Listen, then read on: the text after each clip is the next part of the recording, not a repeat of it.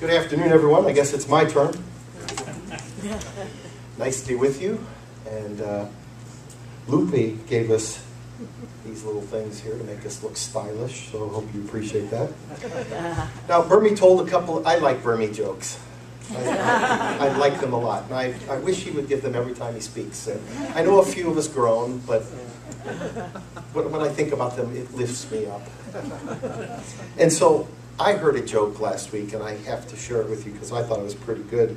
There's this old, retired doctor.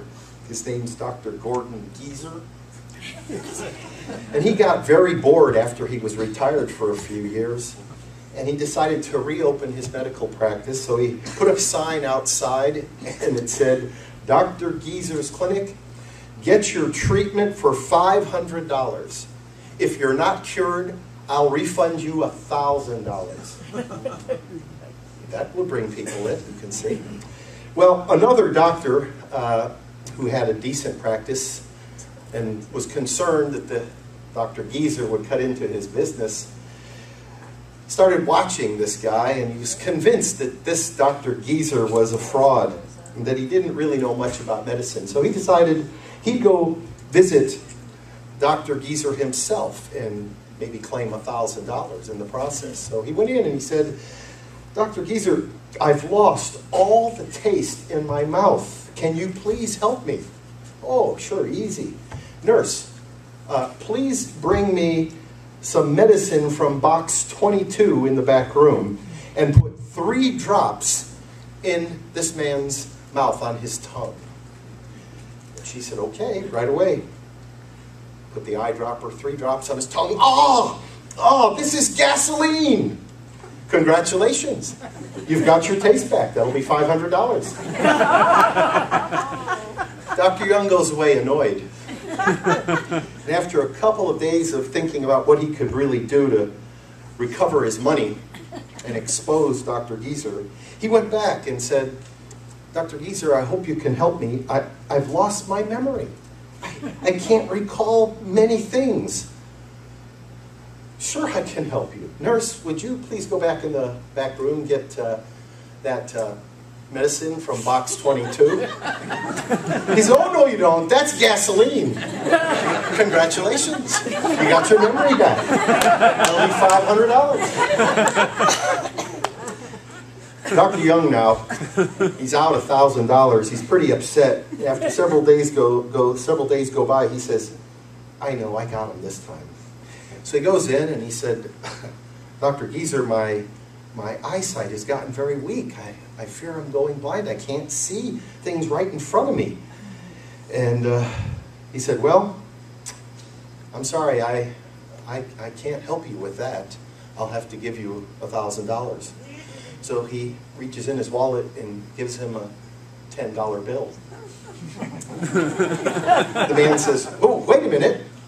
This isn't a $1,000. This is a $10 bill.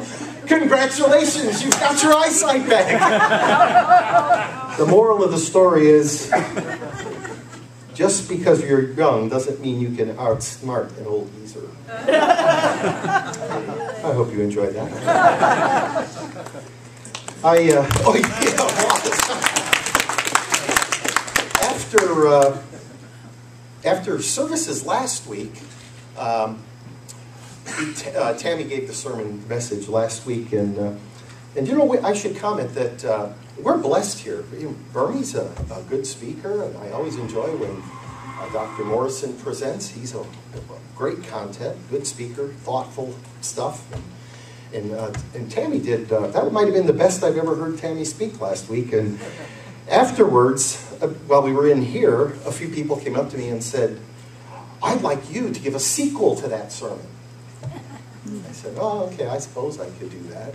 And then I went back inside the, the back room there so we, we could have our potluck meal and was talking with a couple of people. And, and one person said, um, maybe you could uh, explain what it means to be in Christ.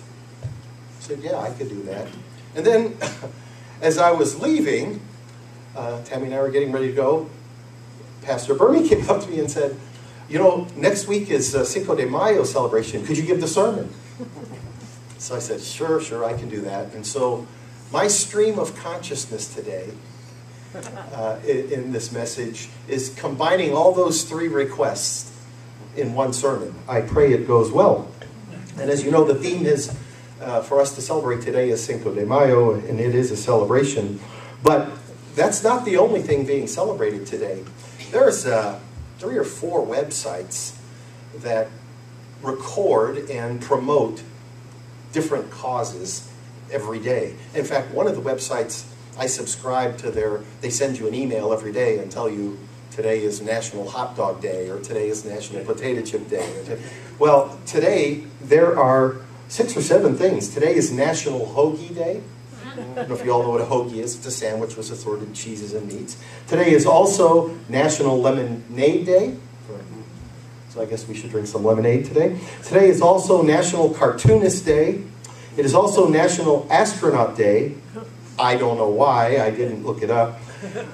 Today is also National Infertility Survival Day. So, so I'm happy for those who have survived. And last but not least, today is also National Chipotle Day for those who like smoked jalapenos and chipotle sauce, as, as I do. In fact, I think that's why I have a little bit of upset stomach today. Uh, I had probably too much of that yesterday. and uh, I went to bed feeling good, and I woke up in the middle of the night. I suppose that hot sauce was burning its way through me. So if I seem a mild bit subdued, um, it's because of that. Uh, let me, um, let me, before I show this video clip, uh, set it up. Um, because today is truly a day of celebration. Not only those seven things that I commented on as national days of celebration, but we're going to uh, celebrate by partaking in the elements of the Lord's Supper, and that is always a cause for celebration. But uh, to set this up in the celebratory mood that I have in mind, uh, and to answer the question as the title of my sermon, who is your biggest cheerleader? Have you seen the movie The Natural? How many have seen it, remember it? Oh my, that few? Like six? Oh, it's a great movie. Um, Robert Redford is the star in this movie. And, uh, and I can't, I don't want to tell you the whole movie. I don't want to ruin it for you, but I'm going to spoil the ending by showing you the clip. But uh, that's okay. I think you'll enjoy the clip, and I apologize for the quality. You know, I, I did the this ripping and uh, trying to do it on my own little laptop computer, and I don't have the high-class software that I had when our headquarters was here. and to go on their Apple machine and make magic on that. So, uh, so I apologize for that, but I want you to take notice of a couple of things when you watch this. It's the conclusion of the movie. It's the last inning of the World Series baseball game, right? And they're losing two to nothing. And it's the bottom of the ninth inning. That is the last bat for the home team. And there's two outs. And they have runners on first and second. And if Robert Redford, who comes up to bat, if he gets a base hit, well, two runs will score, but it's still tied. And uh, if he gets a home run, it's a walk-off home run, as they call it. And the team wins, and they celebrate. And uh, there's a couple other things you might take note of. I, you know, Robert Redford has played a lot of what I call the Messiah role.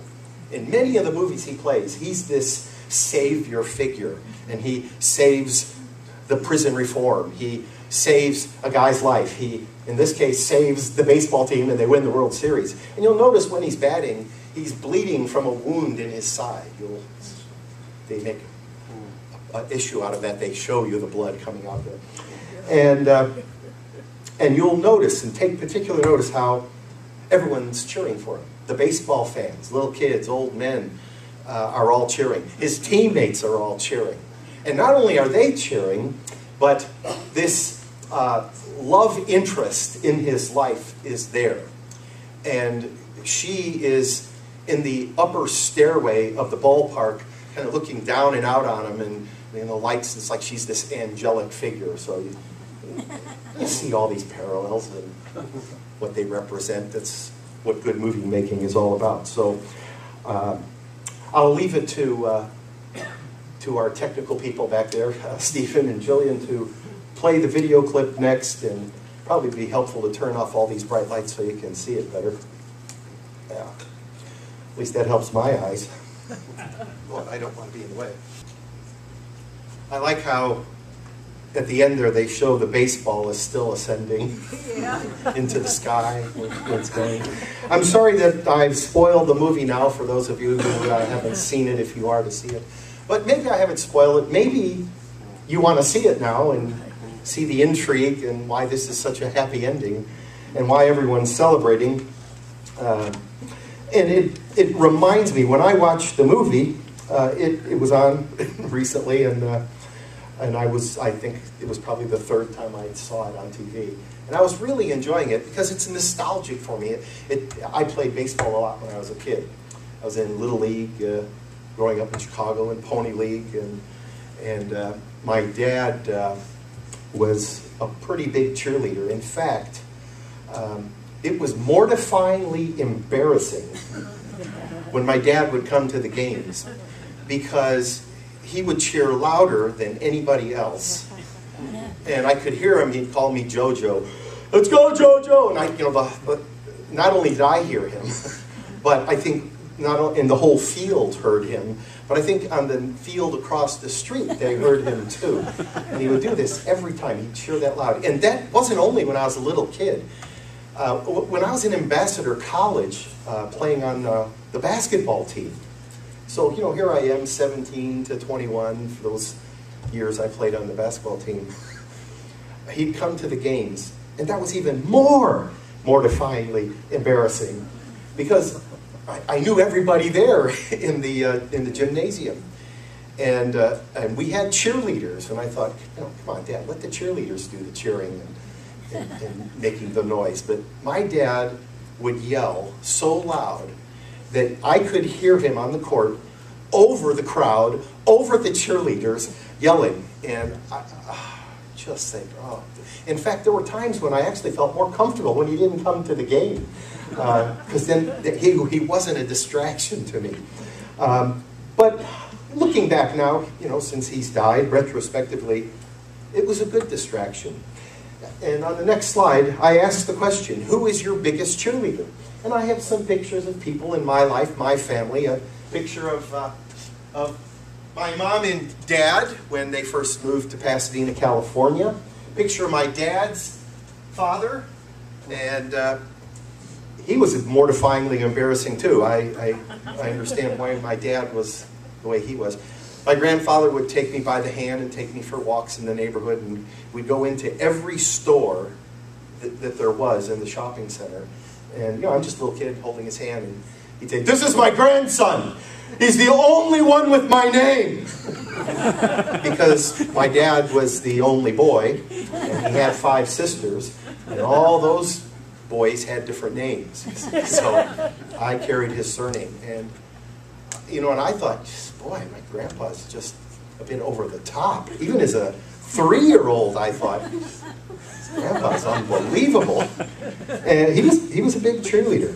And uh, I have pictures of Tammy's dad there. He, he was a cheerleader, and of course, Tammy and my daughter and Tammy's mom. And these, these are all people who are cheerleaders. Consider, in your life, who has been your biggest cheerleader? And undoubtedly, for the most part, it'll be family members or, or dear friends. I, I, you know when I was in my doctoral program at Azusa Pacific, I made some very good friends, some close friends uh, in the faculty, professors from which I, I took classes, sat at their feet, read the books they made us read, and write the papers they made us write, and uh, and I have dear memories of some of those. Um, my son's always been one of my biggest cheerleaders uh, too. So you probably can, in your mind's eye, in the stillness of your memory, come up with faces and names of people who were your biggest cheerleaders. And as uh, one of my professors, uh, I had Dallas Willard as a professor for a semester at Azusa Pacific. He was uh, on loan from USC uh, to APU for, I don't know, a year or so. And uh, uh, he's dead now, but my, wow, he, he was a, an excellent professor.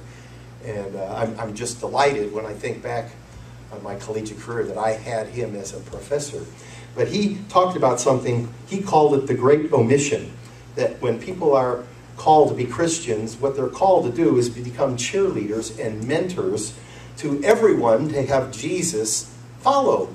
Follow him, follow Jesus. It's kind of a paraphrase of what Jesus himself said about us being the, the salt and the light. The salt to make people thirsty for Jesus, the light to help people see where to go, who to follow, and that is Jesus. But as wonderful as my experience growing up was, and uh, even to this ripe old retirement age, and thinking of all the cheerleaders I've had in my life, when I ask myself the question, who is my biggest cheerleader on the next slide, I have to be real and say, they were not my biggest cheerleaders. As good and as great and as wonderful they were as cheerleaders in my life, they were not my biggest cheerleader. And I say to you, no matter who you think is your biggest cheerleader, cheerleader in or has been your biggest cheerleader in your life, unless you fill in the blank with the name God, your answer is wrong. God is our biggest cheerleader. And on the next slide, I want to talk about a few reasons why. First of all, and imagine at some point in your life, we all wonder why God created everything. Has anyone ever pondered that? Uh, sit, sit, maybe if you've had too much hot sauce or one too many margaritas, you sit around pondering, why did God do all this? My goodness. And we're not alone in wondering that question. King David wrote a psalm about it, the, the eighth psalm. He says, When I consider your heavens, the work of your fingers, what is man that you are mindful of him, the Son of Man that you care for him? You know, because of technology and all its advances and telescopes out there in outer space, we see deeper and deeper into outer space. And it went from millions of stars to trillions of stars. In fact, they can't even number it. It's just the number with, they can't even figure out how many zeros to put on the end. That's how big the universe is. And when you think how big the universe is, and this is the only one we know for sure there's life on, wow, why did God do it all? Isn't that just, it blows my mind. Now, the first thing we need to know, and, and bear this in mind deeply, he didn't create us because he needs us. Now, God is perfect. You know what perfect means? Flawless. In need of nothing. That's what it means to have perfection. No changes need to be made. No fixes need to be made. Perfect. It's the best. So God is perfect. He doesn't need anything. So he certainly didn't need us. I like the way uh, Luke records it when Paul was talking uh, to the scholars in Greece. And he said, The God who made the world and everything in it is not served by human hands as if he needed anything. Right? He doesn't need anything. And God certainly didn't make us because he was lonely. God is eternal. You know, you think about this term infinity, which goes in both directions without ending, right? And God is infinite, and God is eternal. He, there's never been a time when there wasn't God. So it, put a trillion, trillion, trillion, trillion zeros on, uh, in front, in, behind a one, and then say, why did God wait that long to create us? But it wasn't because he needed us, and it wasn't because he was lonely, because all those many, many, many, many, many, many, many years went by. He didn't need us. And of course he didn't need us because, well, he lives in community, Father, Son, and Holy Spirit. A unity in community. And he didn't make us because he needed his ego fed, as if God needs someone to praise him. He, he, he's pretty secure about who he is and what he has and what he can do. Despite God needing us, though, he chose to create us anyway out of, as some uh, theologians use the term, the munificence of his love. Munificence meaning this never-ending big supply as if it's a city in itself, this huge, huge supply of love, never-ending, perfect love. And it's an idea that it's impossible to get our heads around because God loved us even before he created us. In Jeremiah 31 3, he says, God loves us with an everlasting love, that, that never ending, infinite, eternal love. So, God, as John tells us, is love, and it's an amazing thing that he created us. I mean, if that's not cheerleading, I don't know what is. Second, you know, I remember seeing my son and my daughter born, and uh, for those of you who have experienced the miracle of watching your child be born, it, it forever leaves a mark on you, doesn't it? You, no matter how old your kid gets, you look at them, and it's like in that one movie where Steve Martin looks at his grown daughter and he sees this little girl sitting in the high chair. That, that baby is forever yours. And I believe that when God looks at us, there's something similar there. Some dynamic that's similar there that we can relate to. But here's another item to consider. Next slide. He sustains us. As the uh, author of Hebrews wrote in chapter 3, he upholds all things by the word of his power. Uh, as uh, Paul in Colossians said, in him all things are held together. Uh, Paul, I referred to the scholars there in the Areopagus, he said, uh, he gives mankind life and breath and everything. God sustains us. And the remarkable thought in my mind about that, that he sustains us in this whole universe, is you know, in spite of how stupid humanity is. I mean, all you have to do is watch politics for the news cycle. Good grief. Uh, and the evil that takes place on a daily basis. Yet God puts up with all that nonsense and sustains the universe. Uh, that, that keeps me wondering why from time to time. And there's another consideration on the next slide. He didn't just create us and doesn't just sustain us, He redeems us. That's, that's His plan from the beginning, as uh, uh, Thomas Torrance and uh, J.B. Torrance, great theologian, said. You know, it's not like God created Adam and Eve and didn't anticipate they're going to do something stupid and goes, oh no, now what do we do? Oh no, plan B. No. God knows the beginning from the end. He knew from the beginning that humanity would be stupid and sin and do evil. So his plan from the beginning was to redeem us. And if that isn't enough, on the next slide, he wants a relationship with, with us and to give us a new identity in Christ. So, playing an important part in God's plan gives us a new identity. And he calls us to that. It's the ministry of reconciliation, as Paul calls it. To put it in modern language of TV commercials, God calls us to reach out and touch someone. God calls us to tell a friend.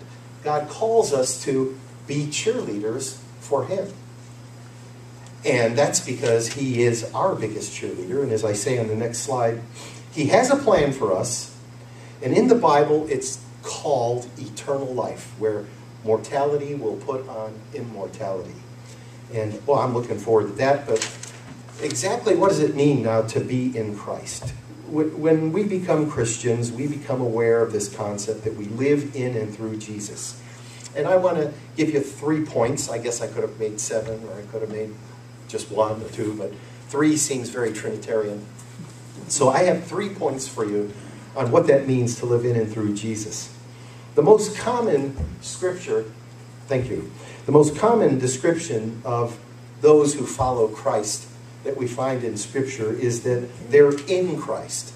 This expression, in Christ or in the Lord or in Him, occurs 216 times in Paul's letters and epistles. And um, I hope I counted it correctly. I have Logos software, and you can do a search and type in all those phrases, and if I added correctly, 216 times in Paul's letters, and another 26 times in John's letters. So this phrase, in him, in Christ, in the Lord, uh, is indispensable in the New Testament. So to be in Christ, it doesn't mean to be inside Christ like you have tools in a toolbox or clothes in a closet. But it means to be organically united to Christ, just like a limb is attached to your body, or as the other organic analogies we see in the Gospels, a, a vine, a, you know, a branch connected to the vine. So he gives us these kinds of analogies to understand better what it means to be in Christ. But it's this personal relationship with Jesus that is a distinctive mark of his followers, and it gives us a metaphor to understand that we're connected to him, we're united to him. And I think it's well explained by what Paul wrote in Galatians 3, verses 26 to 28. In Christ Jesus, you are all children of God through faith. For all of you who were baptized into Christ have clothed yourselves with Christ. There is neither Jew nor Gentile, neither slave nor free, nor is there male or female, for you are all one in Christ Jesus. So, in other words, to be in Christ means you have this brotherly or sisterly unity with Jesus that gives you greater identity. When I say greater identity, what do I mean? Um, well, you have, without Christ, a temporary identity because you'll become dust once you die. Right? You're mortal you're temporary. Um, you have certain parents, you have certain DNA, you, you have certain identifiers. But when I say in Christ gives you a greater identity, I mean the unity we have with God. I mean you have eternal life now given to you. Uh, and you have become the temple of the living God. He chooses to live in us. Talk about unity, talk about a greater identity. And there's different phrases that the Christian community uses for this. One theologian coined a term that I really like and never let go of. He calls it fundevangelical talk. Fundevangelical talk is like a dialect that Christians speak, and they don't all speak the same dialect, sadly, but when you hear phrases like covered by his blood, or have a relationship with Jesus, or put on Christ, or clothed with Christ, these are all biblical phrases that are used to mean this same thing, this greater identity that we have, this life, this new life, this resurrected life we have in Christ. A second reason, in the next uh, slide, is that there's a radical transformation and you participate in a new life in Christ. So it means to be radically transformed. As Paul once put it, if in, if anyone is in Christ, he is a new creation. He speaks of having died to our lives and sharing now in his life. Uh, I like the way the author C.S. Lewis describes it in one of his books. It's just a brief paragraph. Let me share it with you. Imagine yourself as a living house. God comes in to rebuild that house. At first, perhaps, you can understand what he's doing. He's getting rid of the drains, right, and stopping the leaks in the roof and so on.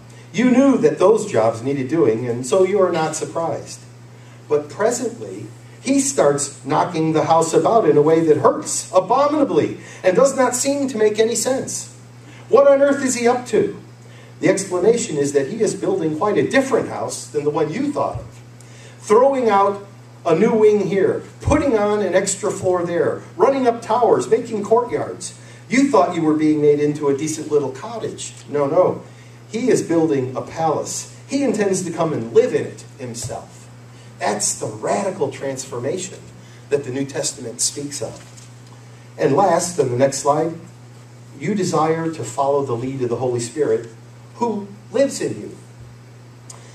Because we're in Christ, we find personal fulfillment, to enjoy brotherly unity, to experience that radical transformation, and from time to time, I think we all experience this in our lives. Apostle Paul writes about it that we have a struggle that we feel. It's the flesh versus the spirit.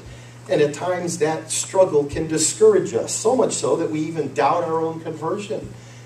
But remember this the very fact that you're worried about it and doubting it is an indicator that you're in the right place. It's an indicator that you have concern about the Holy Spirit working in you. So, Paul writes a lot about it in uh, his letter to the Galatians, where he contrasts the works of the flesh with the uh, fruit of the Spirit. And that's where we go to examine ourselves and, let's say, uh, take inventory on this house that Jesus is building with us. If the spirit of him who raised Jesus from the dead dwells in you, he who raised Christ Jesus from the dead will also give to your mortal bodies through his spirit who dwells in you, as he wrote to the Romans.